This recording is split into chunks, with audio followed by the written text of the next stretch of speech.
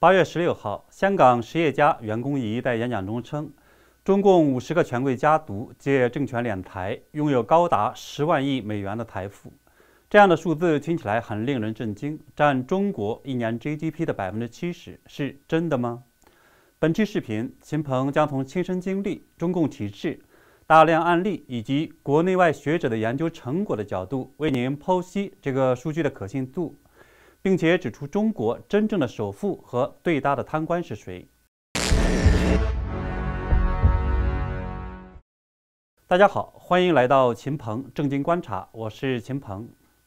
中共贪官的海外财富一直是中国民众的一个关注热点。到底是谁拥有多少钱？很多人穷尽想象也无法得到答案。不过，最近再次热传的多个消息，看起来把这个谜底揭晓的日子拉近了。已经宣告中立二百零五年的欧洲小国瑞士，八月初。外交部长罕见地指责中共在香港强推国安法侵害人权，称如果中国政府继续我行我素，那么国际社会将做出果断回应。这一表态让世界瞩目，因为大家普遍认为瑞士拥有中国贪官的巨额财富，所以才有如此的底气。紧接着，瑞士又表示将在今年十一月举行公投。决定是否限制包括瑞士银行在内的瑞士企业跟海外侵犯人权者往来做生意。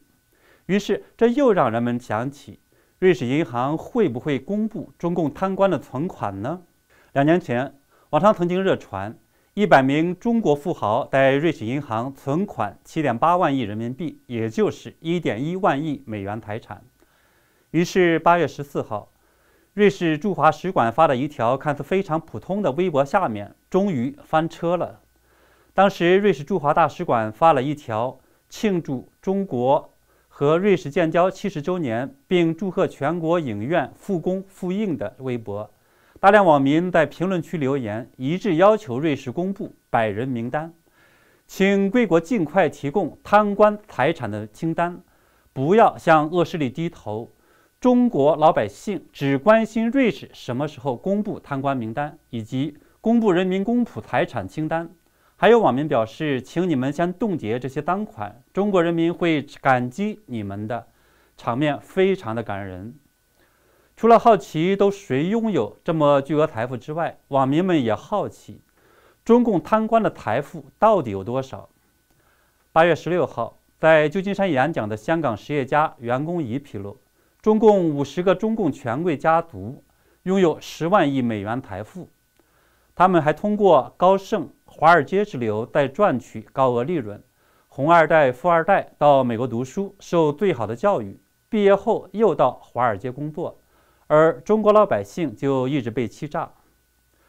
这十万亿美元中，江泽民家族就有一万亿，整个架构就是五十个家族在最顶，操控下面的九千万党员。最底层的就是被剥削的中国人民，那么这就引起了人们进一步的疑问：中共五十个家族拥有十万亿美元财富，这个数据可信吗？有网友觉得这数字有点大，他说每个家族两千亿美元，也就是说中国包办了全世界的五十位首富，而且任何一位都差不多比现在公认的世界首富亚马逊老板的财产还要多出近一倍。二零一八年、二零一九年，大陆全部的税收加起来只有五万多亿美元，十万亿美元就意味着中国五十个家族掠走了大陆差不多四年全部的国家收入，他觉得不可信。但是我从各个方面的信息看，这个贪腐十万亿美元资产的估计具有相当的可信度。从历史看，我们可能都知道大清贪官和珅抄家的时候。据说罚没的财产折合银两八亿，相当于大清二十年的财政收入。中共改革开放四十二年，中共的贪腐程度又远远的超过历朝历代。五十个家族贪腐四年的财政收入，看起来也不是不可想象。从现实看，我有四大证据。第一个证据是二零一六年，国际记者联盟披露巴拿马文件。披露说是上百名政要和名人如何在逃税天堂隐藏财富。报道说，文件涉及至少八名现任和前任中国政治局常委的家人，包括中国国家主席习近平的姐夫和前总理李鹏的女儿。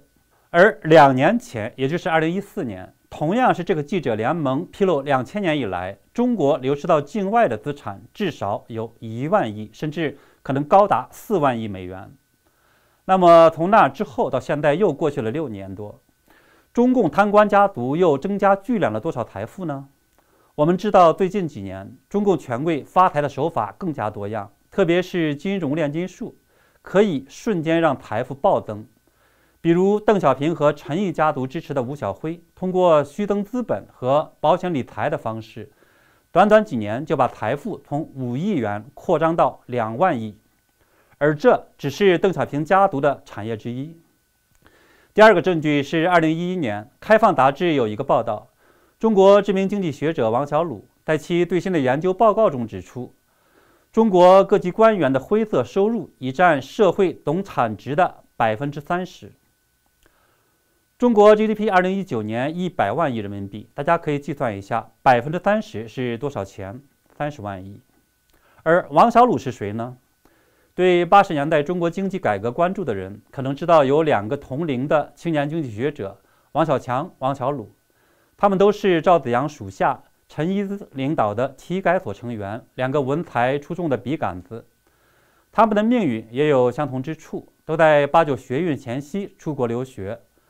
逃脱了六四之灾，后来也先后回国重操旧业。王小强扎根在香港，王小鲁。则被樊纲邀请回到北京国民经济研究所，当时任中国经济改革研究基金会国民经济研究所副所长，当时五十九岁。也就是说，这样一个人的研究是有很高的可信度的。而除了王小鲁团队之外，还有其他专家团队，也都部分揭示了中共贪腐的规模。例如，二零零一年，胡鞍钢曾向媒体披露，一九九四年到一九九八年，中共税收流失、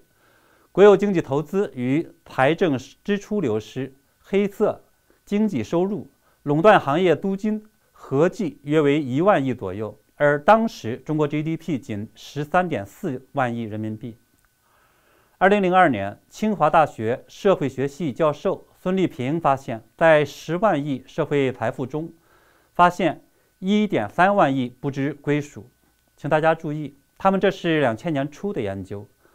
孙立平老师披露的不知所终的财富占当时已达到了 GDP 总数的百分之十三。第三个方面的证据呢，是中共贪官聚敛财富的手段非常的多样，也极其的容易，挥手之间就可以获取巨额的财富。首先，我想说的一点呢，是中国的法律其实都是给老百姓制定的。真实的中共高官家族无法无天，外国元首包括法国总统和美国总统到故宫都得步行，但中共红二代们就可以在故宫里面开大奔。普通老百姓网上说句话，给推特点个赞就得坐牢。但是毛泽东杀了几千万人，还被中共供在神坛上。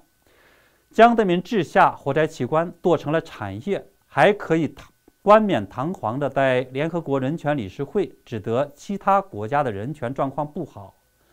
习近平把大瘟疫传遍了世界，却可以堂而皇之地鼓吹建设人类健康命运共同体。这就是中共权贵的真实的面目：表面的冠冕堂皇，背后是男盗女娼。在聚敛财富方面，他们也是胆大心黑，手段多样。我们经常看到中国媒体大力宣传说，贪官的家里面超出了现金几个亿、十几个亿、一个亿一吨，但事实上这只是中共渲染反腐的一种炒作手法罢了。收受现金贿赂只是中共官员聚敛财富最一般和最低级的手段，真实的手段远远超过这个。中共官员聚敛钱财，主要利用了中共体制五个最大的漏洞。第一个是中国土地和矿产大企业都被中共窃据，可以呢随手划拨或者便宜的买卖私相授受。现在大城市的房子动辄是几万、十几万一平米，但实际的建筑成本也不过是一千五、两千块。所以呢，如果你有权利随便弄一块百八十亩的土地，也就是不到十万平方米土地建几个大楼，例如呢，容积率是三点零，那么就有三十万平米的建筑面积，你就可以获得价值上百亿的房子。当然，操作上呢，可以看起来更加简单漂亮一些，支付一点点地皮钱，九牛一毛。实际上呢，当然还有很多其他的手法可以更干净利索的赠送。中国房地产商有多少官员或家属或者是白手套呢？我看到之前网上有一个数据说，大概百分之九十八。二零一八年，中国房地产的价值超过了四百五十万亿，也就是六十五万亿美元。有多少？掌握在贪官的手里呢？我们还可以举一个例子：曾庆红的儿子曾伟如何是空手买到千亿的鲁能？二零零七年，胡舒立当时在《财经》杂志的时候写过一个报道：“谁的鲁能？”揭露曾伟等人通过银行贷款很便宜的买了一个煤矿，然后经过评估，三个月之后把公司财产虚增到三十二亿。然后呢，是获取了当时总资产高达七百三十八点零五亿元、实际资产上千亿的山东鲁能集团的百分之九十一点六一的股份。这个钱赚太容易了吧？而这只是暴露出来的冰山一角的一角。第二个中共敛财的利用的最大的漏洞是中国商业银行的钱也可以随手贷，比如我们知道这一阵呢。拜登的儿子亨特因为中国银行贷款给他十五亿美元，成立了 PE 公司，发财玩玩，洒洒水了。结果呢是被国际媒体大肆的在追踪，而多少的中国大家族也是这样发财玩的，赚了归自己，赔了归国家。二零一三年，原中共央行副行长吴晓玲曾在私下被朋友们开玩笑，央行政策造成了大量银行坏账。吴晓玲情急之下回应：“没有那么多坏账，中国哪来那么多富人？”这段大实话呢，被传颂了很多年。中共权贵发财的第三个大漏洞是，中共还可以把资产和市场机会以改革名义等等的赠送。比如，很多北京人或者是 IT 电信行业的人都知道，江泽民的儿子曾经办过一个小网通，巨亏两百亿。我在清华读研究生的时候，当时的国资委主任李荣荣是主持改革，以市场竞争为名，把中国电信分割成南北电信，而这个巨亏的小网通就兼并了净资产千亿的北方电信，而且连续很多年，原来北方电信的员工苦咔咔的勒紧腰带替小网通还债。至于市场分割就不用说了，很多人都知道。中国的国有资产被中共权贵通过分割的方式做了分配，比如李鹏家族是水电，江泽民家族是电信，还有很多其他产业。而王震家族是军工，嗯，曾庆红家族和周永康家族在石油行业，周永康家族呢还染指维稳，曾庆红家族染指香港，新疆王王乐泉、陈全国家族呢吃遍新疆，各地的公检法呢得吃遍被告吃原告。公安呢，还是各地黄赌毒的大后台。上海的企业家胡立任就揭露，上海公安仅经侦这一块就敛财几千亿。中共权贵敛财的第四个大漏洞是利用海外资产缺乏监督。我们都知道，中共权贵喜欢大撒币，公开的旗号呢，当然是说收买这些国家政要，获取经济和战略利益，或者是所谓的非洲资产等等。但实际上，撒币或者对外捐赠，这也是一个大买卖。几百上千亿美元的捐赠，多少钱到了被援助国家，多少钱到了中共各大家族手里，没有人知道。另外，中国企业呢，在海外办公司和购买产业，多少资产又落到了个人名下，多少业务背后又是高官赚钱，也没有人知道。中共打周永康的时候，台新网就曾经报道说。中石油要买一个油田，于是呢，周永康的儿子周斌就花了一个亿美元买下，然后呢，八个亿美元再卖出，这钱赚得非轻轻松松。另外，我们知道，有了钱赚钱很容易，比如和珅的财富，据专家分析，主要就是靠善于经营，大部分钱就是这么赚的。而中共治理下，则因为能够获得各种垄断市场的机会，想不赚钱都不太容易。而且在金融时代，在银行、华尔街、中共证监会的帮助下，靠高杠杆把资产再扩张个十倍、几十倍，再在中外股市放大个几十倍，都不是什么事儿。刘云山的儿子刘乐飞，温家宝的儿子温云松，都是靠金融炼金的。比如说，山东黄金一年赚二十亿，而 P/E 倍数是六十多倍，这就变成了价值一千二百亿的上市公司。而公司和公司之间，还可以呢一层一层的控制，这就变成了我们经常所说的价值上万亿资产的金控集团。我们前面提到的吴晓辉的安邦集团就是金控集团，肖建华的三万亿的明天系也属于这一类。而且大家都知道，公开的所谓的很多白手起家的中国富翁，其实都是白手套，背后呢是多个中共最顶级的权贵家族。第四个方面的大的证据呢，是中国财富的总规模和财富分配极端的不平衡。我们可以大致推算出中共权贵资产的规模。上面呢，我们是做了是定性的分析，我们这个部分呢，就试着做一些定量的分析。瑞士信贷发布的2018年全球财富报告显示，全球财富当年总增长了是14万亿美元，达到317万亿美元。其中，中国家庭总财富超过了五十二万亿美元，紧跟美国之后，位居全球第二。我们知道呢，中国有四点五亿户，也就是说，平均每户大概是十二万亿美元，折合人民币呢是八十四万，看起来不多。但是我们知道，中国的财富分配极其的不平衡。比如今年李克强就说，六亿人月收入仅一千人民币。而台新网发布的报告更扎心，说月收入两千元以下的有九点六四亿人，月收入五千以上的也不过是七千二百万人。也就是说，这五十二万亿美元的家庭财富跟绝大部分中国人无关，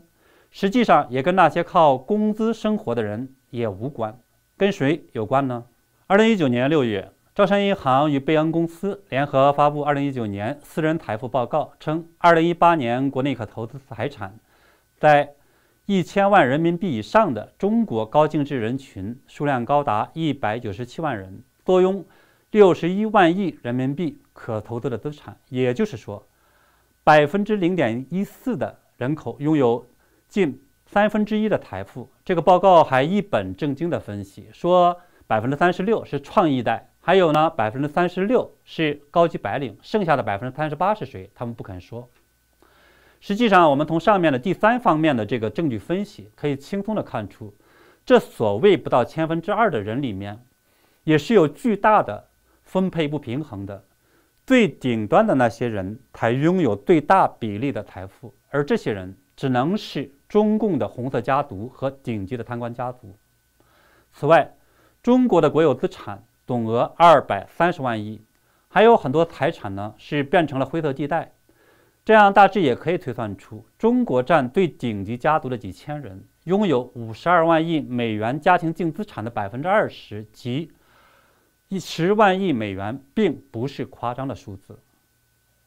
此外，根据我们对其他情况的了解，中共权贵家族的财产分布。大致是中共开国元老和几十个常委级的大家族拥有上万亿的家庭资产每家，其他的呢是大大小小的政治局委员和部长之类的，得拥有几百亿、上千亿的资产。至于中国真正的首富是谁，我想其实不用说了，不是福润富豪榜上的马云、马化腾，也不是许老板、许家印，大家大部分猜得到是谁。江泽民从1989年入驻中南海，2017年习近平才接过中共核心的帽子。毫无疑问，中国最大的贪腐的家族是江泽民家族，其儿子江绵恒则是中国真正的首富。好了，我们的分析呢就到这里。由于资料有限，我们的分析只能从这些侧面分析。希望有兴趣的朋友可以和我继续的研究和讨论。请喜欢我节目的朋友。订阅我的频道，并点那个小铃铛，还有转发，谢谢大家。